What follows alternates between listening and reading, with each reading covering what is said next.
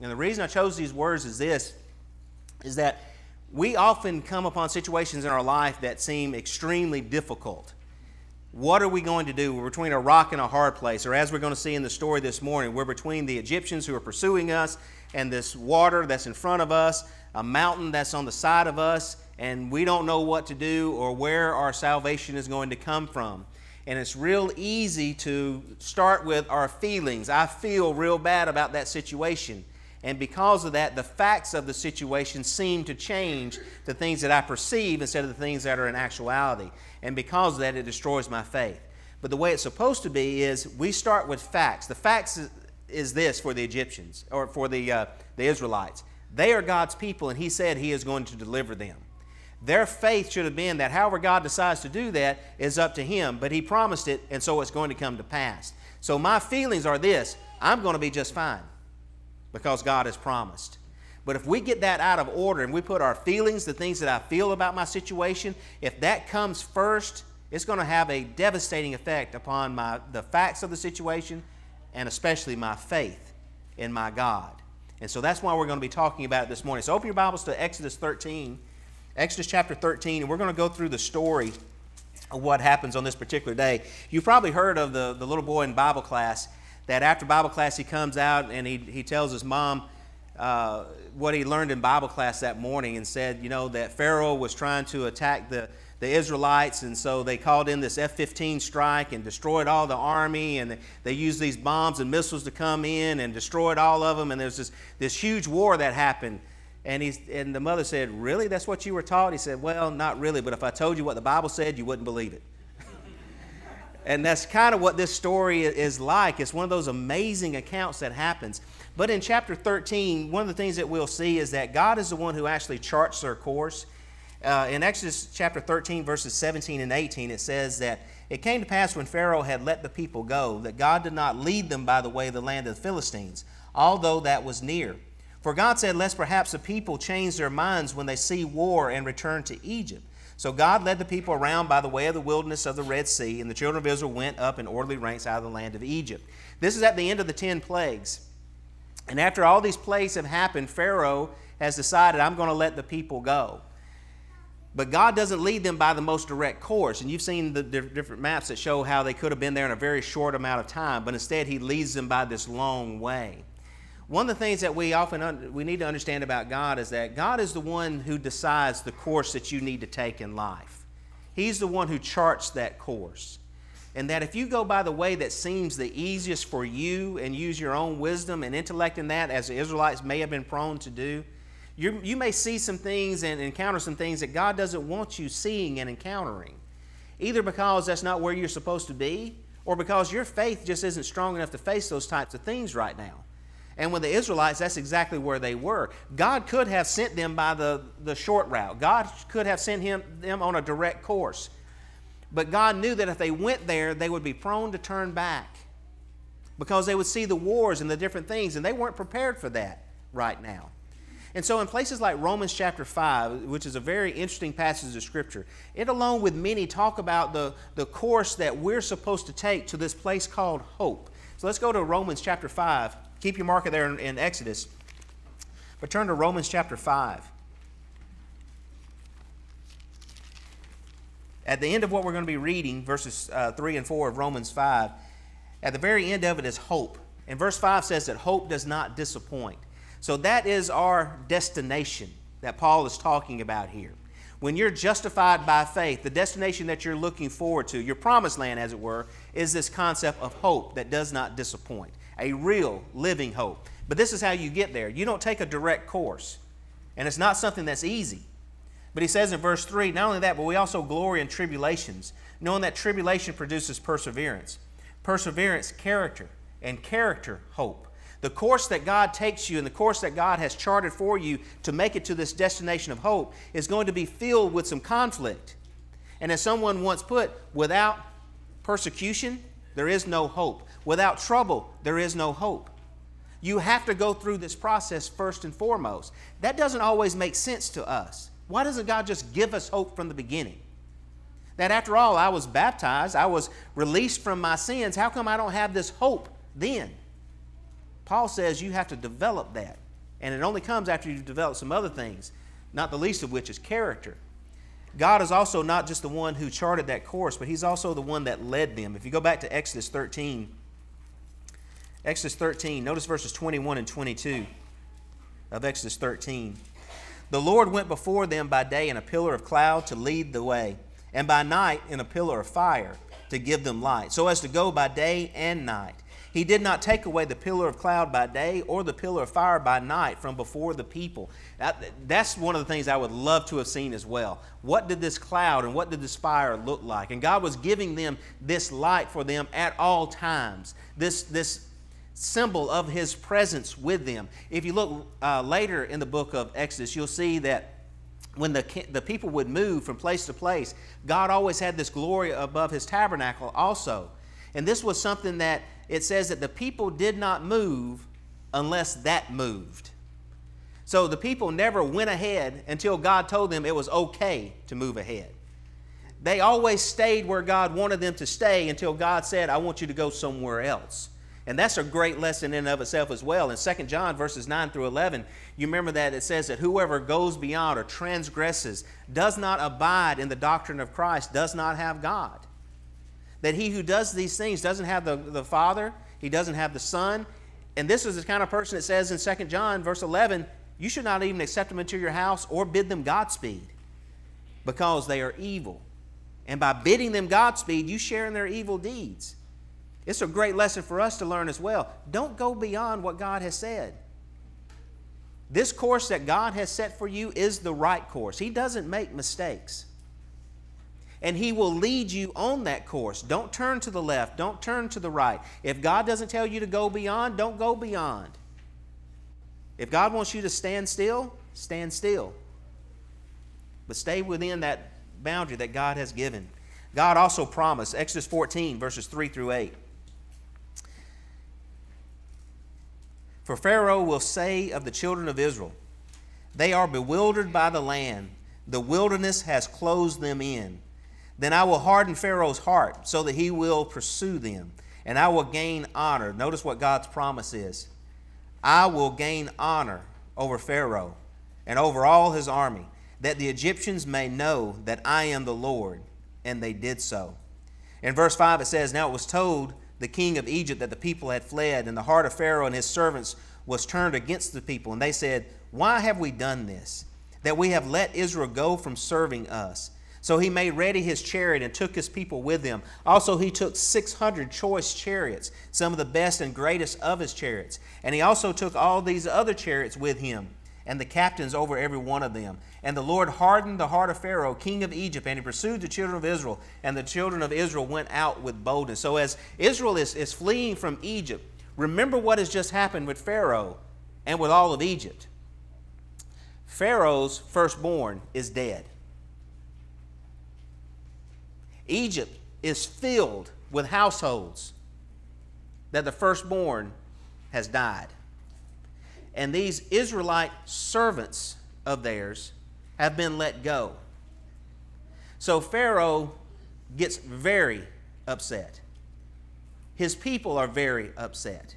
And with the hatred of knowing that these people are the ones that he can blame as being responsible for the death of all these children of their people, he wants them back or at least to destroy them. And so when he goes after them, he doesn't just take any chariots, he takes 600 of the best chariots. And then he takes all these other chariots with him so that he might run them down in this desert. Because it's not enough for him that they be consumed in the way. God promises in the midst of this, though, that my name will be glorified. Israel and Egypt will know that I am the true God. You remember that earlier in this, this accounting in Exodus, it says that God demonstrated his power and made war against all the gods of Egypt. And so each one of those plagues, really, if you go through a study of it, each one of those plagues is something that directly affected one of the gods that was worshiped by the Egyptians. God made war against all the gods of Egypt. And even the greatest of their gods could not save their children and hold his people captive. God had demonstrated that.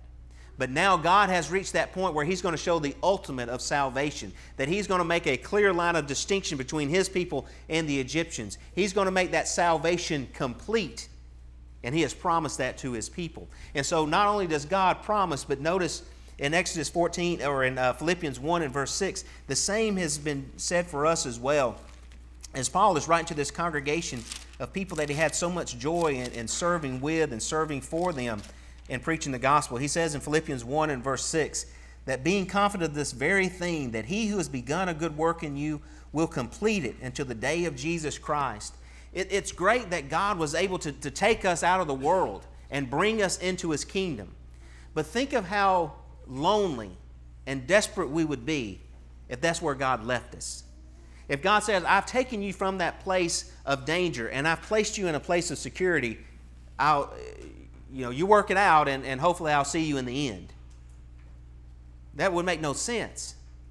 Because along the way, we're still going to have those who are not going to be happy that we've left that old life behind. One thing that I've noticed over the years, and I can guarantee you that if you decide that you're going to make a change in your life, that I am not going to do this particular thing anymore. I'm not going to hang out with these kinds of people anymore. I'm not going to live this kind of life anymore. As soon as you make that decision, you're going to have somebody call you that you probably haven't heard from in years. You're going to have something happen that's going to remind you and bring you back to those things that you said you, you, you would leave behind. Because Satan may leave you alone for a short period of time, but it's only for a short period of time. And he's going to try to get you back. Guaranteed. It happens all the time. And so God is not just about saving you from your sins, but watching over you and completing the work that He began in you as well, which is a great promise that we have. But if you continue there in Exodus 14, verses 10 through 12. Exodus 14, 10 through 12. It says that when Pharaoh drew near, the children of Israel lifted their eyes, and behold, the Egyptians marched after them. So they were very afraid, and the children of Israel cried out to the Lord. Then they said to Moses, Because there were no graves in Egypt, have you taken us away to die in the wilderness? Why have you dealt so with us to bring us out of Egypt? Is this not the word that we told you in Egypt, saying, Let us alone that we may serve the Egyptians? For it would have been better for us to serve the Egyptians than that we should die in the wilderness. Notice in, in verses 10 through 12 that the people want to go back. You're going to see three very distinct statements or attitudes that are, that are displayed here. The Israelites want to go back. It would have been better if we'd stayed in Egypt than that we should die in this wilderness. When they say this to Moses, what, notice what it is that Moses says in verse 13 and 14. Moses stands to the, says to the people, Do not be afraid. Stand still and see the salvation of the Lord, which he will accomplish for you today. For the Egyptians who you see today, you shall see again no more forever. The Lord will fight for you, and you shall hold your peace. So the people want to go back. Moses says, Stand still. But in verse 15, notice what God says. God says, Why do you cry to me? Tell the children of Israel to go forward. See, very, three very distinct things that are there. And please understand that whenever we go through conflicts and trials and trouble, these are the things that we deal with constantly. It'd been better if I had never tried, never attempted, never put forth the effort. It wasn't appreciated, it wasn't accepted, whatever it may be. Been better if I had never even tried. Somebody else says, well, just stand still. Give it some time. Be patient. And that may be some very good advice. And with Moses, I think it was good advice as well. But that patience and advice is only supposed to be short lived. Because, thirdly, this is what God says move forward. Why do you keep crying out? Why do you keep coming to me asking me for all these things, all this deliverance, all this salvation? I said I'm going to save you. Tell the people to move forward. Okay, there's a lot of water out there and we're being pursued. But have you forgotten already what God has done? Have you forgotten the plagues that were on Egypt? Have you forgotten that you were sent out with this great bounty? Have you forgotten the cloud? Have you forgotten the fire? Have you forgotten all those things? Stand still, Moses says, and see the salvation of the Lord. Unless I'm mistaken, this is only the second time that the word salvation has been used in the scriptures thus far. It's used once in Genesis and then here. But from this point forward, you'll read this word salvation, even in the Old Testament, numerous times. And many of those times are used in reference to this scene to remind Israel God saved you. He is your rock and your salvation. He is the one who delivered you from the hand of the Egyptians. And he tells them that over and over again. And they remind each other of this over and over again. Do you not remember that day? Our fathers told us about this. It's been handed down from our grandfathers, even, that God saved us that day. This is that great turning point where God made complete and ultimate what his salvation was all about. But God also followed through with his promise. Verses 19 through 31 the angel of the Lord who went before the camp of Israel moved and went behind them. And the pillar of cloud went from before them and stood behind them. So it came between the camp of the Egyptians and the camp of Israel. So it was that this cloud and that darkness to the one, and it gave light by night to the other, so that the one did not come near the other all that night. Then Moses stretches out his hand in verse 21 over the sea, and the Lord caused the sea to go back by a strong east wind all that night, and made the sea into dry land, and, and the waters were divided. I've, I've often wondered, what was that like? On that day when, when that cloud moved and that angel moved, and there's this darkness on one side and light on the other. And so, if you're one of the Egyptians and you're on that other side and you can't see the Israelites, and it is dark, and all that night, all you hear is this huge, mighty wind and I would imagine that water being moved probably made some noise as well. And so, what are you thinking? We know what they were thinking because they say it in the next few verses. So the children of Israel went into the, the midst of the sea on the dry ground, and the waters were a wall to them on the right hand and on the left. And the Egyptians pursued and went after them in the midst of the sea, all Pharaoh's horses, his chariots, and horsemen. Now it came past in the morning watch that the Lord looked down upon the army of the Egyptians through the pillar of fire and cloud, and he troubled the army of the Egyptians. And he took off their chariot wheels, so that they drove them with difficulty. And the Egyptians said, Let us flee from the face of Israel, for the Lord fights for them against the Egyptians. What did God say he was going to get? Glory. Would the Egyptians know who the true God is? Yes. I don't know how it is that God took off all the chariot wheels. That was something that's always stood out to me. So as I was reading commentaries uh, about this and what many people think is that you know the children of Israel walked through on this dry ground, but the Egyptians drove with much difficulty because their wheels were off. That doesn't seem very smart for a people that seem very advanced for their time. But what most commentators believe is that when this wall of fire and, and uh, or this cloud between them and the walls of water that were there, the Israelites go through, and that God probably caused this great di- uh, deluge of water to come down out of the sky. Psalm 77 seems to suggest that as well. And so it may not be that the tires themselves were off of the chariots, but they were figuratively off the chariots because there was nothing but mud and muck now. And so they drove them with much difficulty. How is it that these people walked across there so easily, and now our chariots are stuck in this mud? Being stuck in the mud also prevents them from running. And so God has them exactly where He says they're going to be. Moses said, You will not see their face anymore after this day. And so when you continue in that text in verse 26, then the Lord said to Moses, Stretch out your hand over the sea, that the waters may come back upon the Egyptians, on their chariots and on their horsemen. Moses stretches out his hand in verse 27, and when the morning appeared, the sea returned to its full depth, while the Egyptians were fleeing into it. So the Lord overthrew the Egyptians in the midst of the sea, and the waters returned and covered the chariots, the horsemen, and the, all the army of Pharaoh that came into the sea after them. Not so much as one of them remained. But the children of Israel had walked on dry ground in the midst of the sea, and the waters were a wall on them on their right hand and on their left. So the Lord saved Israel that day out of the hand of the Egyptians. And Israel saw the Egyptians dead on the seashore. Thus Israel saw the great work which the Lord had done in Egypt. So the people feared the Lord and believed the Lord and his servant Moses. And then chapter 15 is, is a song of praise and glory about what God had done. It's one of those accounts in the scriptures that where God just shows just how great and powerful He is. And so, just a few lessons from, from this. Whenever it is that you find yourself caught in a, in a bad situation, there's a few things that we can learn from this story that we need to learn. One of them we saw in the song that we sang a little while ago about being still and knowing that the Lord is God.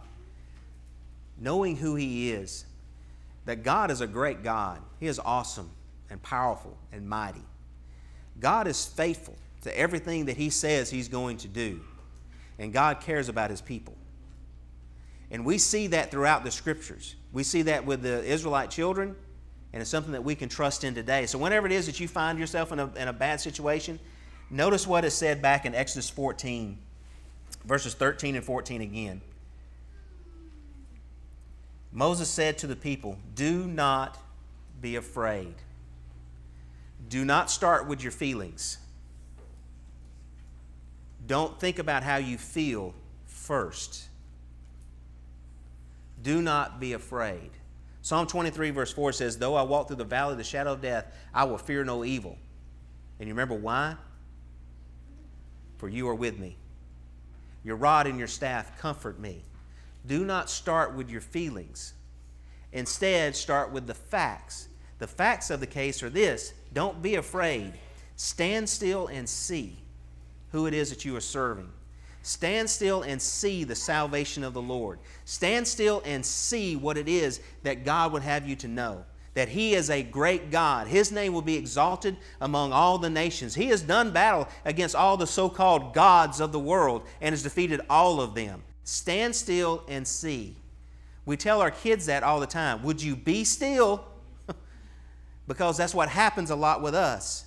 We're doing so many things, there's so many activities going on, there's so many things that can, that can consume our minds. We need to be still and focus on something. Don't focus on your feelings, focus on the facts and see the salvation that the Lord provides. Hold your peace, he says, on top of that. Hold your peace, he says at the end of verse 14. The Lord will fight for you, and you shall hold your peace. Psalm 131 and verse 2. Psalm 131 and verse 2. It's a beautiful verse. Here the psalmist says in Psalm 131, verse 2 Surely I have calmed and quieted my soul, like a weaned child with his mother. Like a weaned child is my soul within me. The image here is of a child that's been hungry. And you know, when that child is hungry and wants something to eat, there is no saying to that child, Be still, be quiet. That kid is going to scream and make noise until it is weaned.